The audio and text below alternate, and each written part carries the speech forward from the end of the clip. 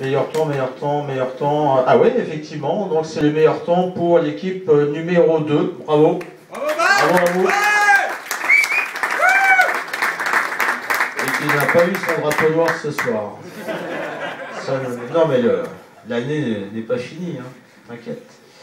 Et donc les grands euh, victorieux, donc l'équipage très haut, équipe numéro 8.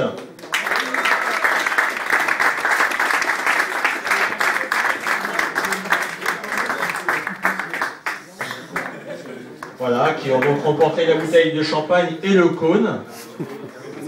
Bah oui, hein, forcément, hein, puisque le seul et unique pilote de la soirée qui me l'a shooté euh, à deux reprises. Tiens, vas-y, tu lui remets. Voilà, ça c'est cadeau, ça c'est fait.